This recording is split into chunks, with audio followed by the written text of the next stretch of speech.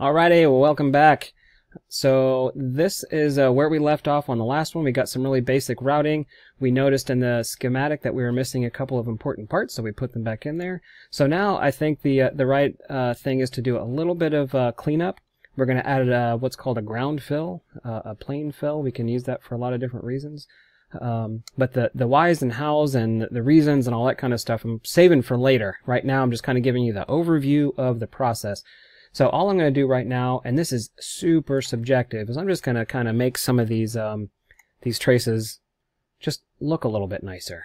Um, there's absolutely no real justification uh, for this, but I'm I'm moving uh, some of the little pieces and parts around um, so that uh, uh, so that they look better. So this one, uh, you can see kind of, I was trying to make like a, a, a different jog.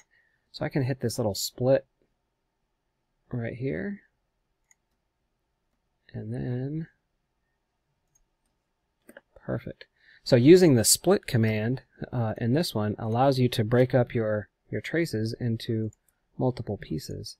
So here's what I can do. I can kind of get these nice and parallel. Again, this has absolutely no impact at all whatsoever in the functionality of this particular circuit. In some cases, um, the, the neatness, well, in most cases, uh, as circuits get uh, and layouts get more and more complicated, um, it does kind of help to keep things nice and neat because it keeps you as the designer from being confused in the process. So let me save that. Okay, saved it. Um, so that's you know neat enough for uh, for what we're doing today. The next thing I'm going to do is add what's called a um, a, polygon pour. So I'm going to pick this little polygon tool, and that will allow me to fill up all of this black area with uh, copper. And in this case, I'm going to assign that copper to the ground uh, node over here, and um, let's do that right now. So polygon. We want this to be on the top layer. Um, we want it to be solid. Um, the width in this case, what it's talking about there is how, um, well, you know, I'll tell you what, I'm going to, I'm going to pick a number here and I'm going to explain that after the fact. Remind me if I forget. So I'm just going to go around the board, make this polygon pretty close to the same size of the board, slightly bigger, and uh, we'll see how this behaves. So when I get all the way back to the end, I started on a grid point, and this is important, I guess, to note.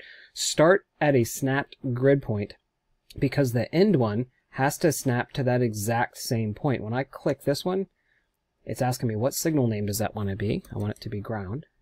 Okay. And it's connected that to make it um, solid. So the next time I go over here and hit uh, the rat's nest button, it automatically fills this in, fills every available space in with copper. And if we look really closely over here at our ground connections, it made these things right here. So that the way this is connected, these are called thermals, and uh, fun fun topic. Um, so the solder uh, pad right here, it made little connections to the um, to the solder pad. It made four connections to each one of these resistors.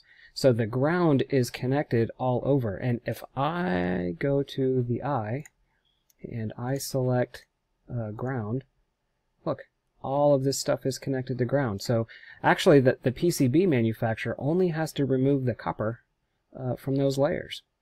And uh, a ground fill from an electrical perspective on a lot of circuits is a good idea. So great. So we got the, the copper part um, uh, pretty pretty much settled. Um, and I, I want to see what this is going to look like in real life. So in, in real life, um, I do not want the values. So those can go away. That's pretty hilarious because I've got this, this thing is all goofed up. Um, everything else we'll see. If I go to the little manufacturing tab, it shows me a preview of what this thing is going to look like. And you know what? It isn't that bad, except that uh, the switch is called U dollar sign one. So yeah, we're going to get rid of that. Um, so let's do that uh, right now. Let's uh, go back to the schematic. And the switch is named right click, name, U dollar sign one, so let's make this SW1. That's that's a little bit better. So let me go back over to our board. Yay, SW1, I love that. But I'm going to go to move. I want SW1 to be kind of in the center. It doesn't matter. If you wanted these things to be off to the side like this, that's great. Um, this one can be off like this. It doesn't matter if this text goes over the, the trace right here because there's going to be solder mask there.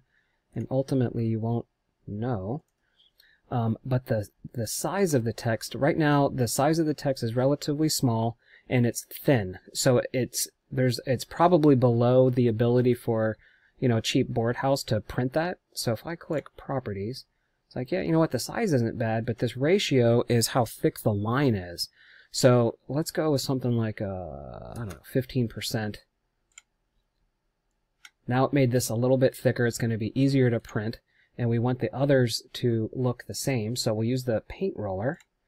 And when I click on that one, it's asking me, oh yeah, you can copy all of these attributes. Great, but I don't want the angle. I want all this other stuff though.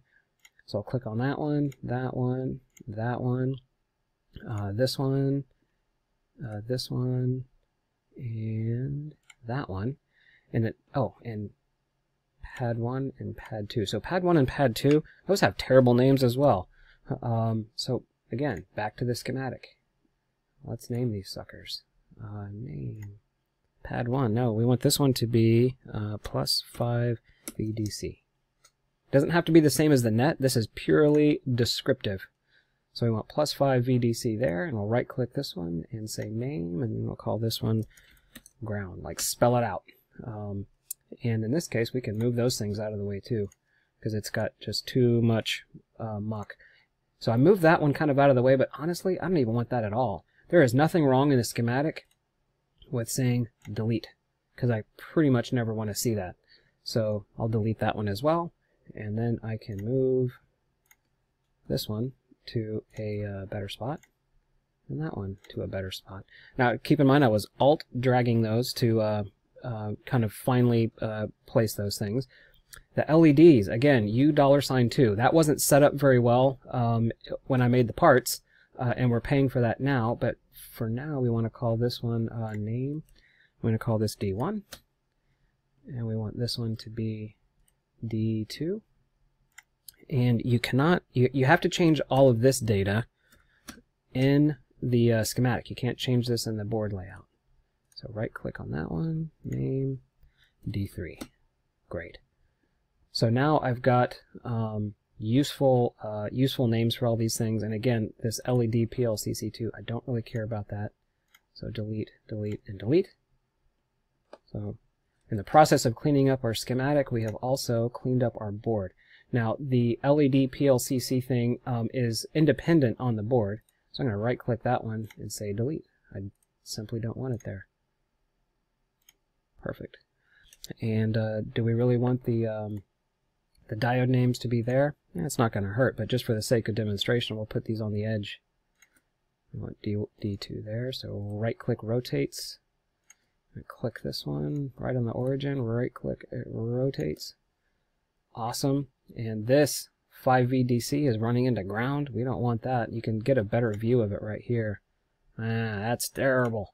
So let's grab that one. We're still in the move command. Great. So let's put, you know what, we'll just kind of offset them a little bit. We're just kind of goofing off. So I think that down the road you can figure out which one is which. And we get our little preview. Ah, you know, it doesn't look so bad. Let's say we love this. Let's make it. I'm going to save it. Um, so we've got all this stuff here. So when when you love your design, you're like, ah, it's time to make it. The next step um, is to prepare uh, the Eagle data to be uh, viewable, readable, and usable by any uh, board house manufacturer. And the industry standard way of doing that is generating a package of files called Gerbers. So if we go up here uh, to this little icon, it says CAM processor and it's going to pull up this little window. And right now it's pulling up the default template uh, for two-layer, you know, cam. Um, I'm going to demonstrate this with with my own, um, and I can I can share this with anybody who wants it. I don't really care. Uh, so let's see, let's two-layer, yeah, two-layer. All right, so this is one that I developed um, on my own. I'm going to make this bigger. So what you see here um, are these are all the individual files. Every layer of the circuit board, every process essentially gets its own individual file. So I'm not going to go too much through the uh, CAM processor because it's a pretty big topic overall. But effectively what you see over here, uh, these are all the files that are going to be output. This is a preview of what they're going to look like. This area right here is what dimensions are contributing to that, the output file names and all that kind of stuff. And if you look really closely up here, it says export as zip. So it's going to create all these files, zip them, and put them into the folder uh, that, that you chose. So if I click on these, it gives me a preview. So here are the two drill holes that uh, align with the um, where we're going to solder the wires. That's the outline of the board. It's created by the dimension layer. Um, the top copper, so this is the, defines the copper, and that's made up uh, with uh, layer 1, which is top. But it also includes uh, layer 17 pads and layer 18, which is the uh, vias. So if we turned off 18, it would take out this little area here where the, where the pads are, and of course that's that's no good. So the bottom side has nothing on it except for the uh, the pads and the vias uh, from the holes. I probably would have put a copper on there um, if I had to. This is the silk screen, so this is what's going to be uh, visibly printed um, on top of it. The solder mask, uh, solder mask bottom, uh, the stencil, uh, all of these things. These are all great topics for future things. So long story short here, I'm going to hit the little process button and it says, hey, where do you want to go? And that's that's where I left it. Great. It opened, uh, or it processed successfully. I'm going to open that folder. And there's our zip file. So I'm going to say unzip that, unzip, extract it to that folder. Great. So here's what we get. These are all the individual files, um, and the uh, the extensions uh, are defined kind of down in here. So this is DRD is drill, L1 is for layer 1, layer 2, the outline, the silk screen, solder mask bottom, all that kind of stuff. But the very last thing we have to do is open up a, uh, a Gerber viewer independent of Eagle just to test all this stuff. i have been using Gerb V. There's a couple of them that I use, but this one is really simple for uh, quick and dirty stuff. GerbV. Um, I'll see if I can get the link to that in the comments. Um, open layers. Great. Let me. Um.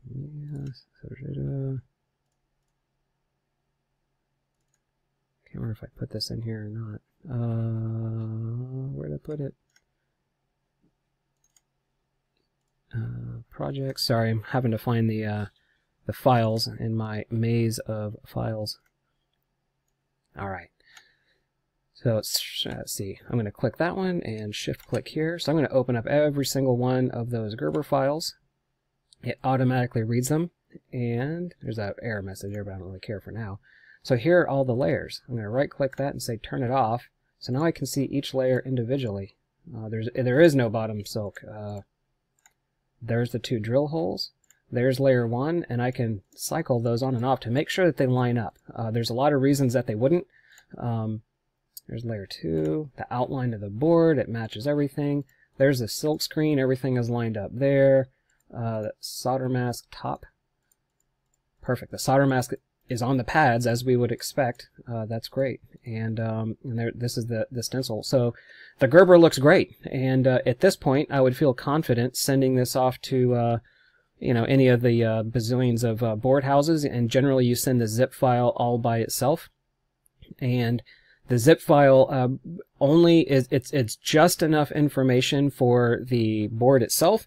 There's no superfluous information about your design intent or what components you're using and all that kind of stuff. And you know, for this, who really cares? You know, for my designs, I really don't want to be sending um, you know all my design data to every single board house, especially the cheap stuff that I'll do in China or whatever.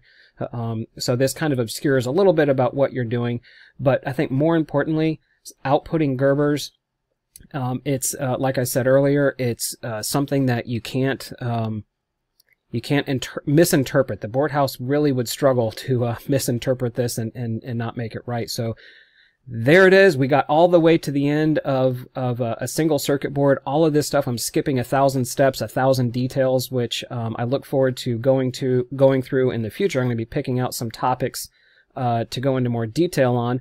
But for now, at least you can see the entirety of the process, and uh, we'll move on to uh, start to get into some of the uh, intermediate um, and uh, more specific stuff shortly. So we'll see you soon.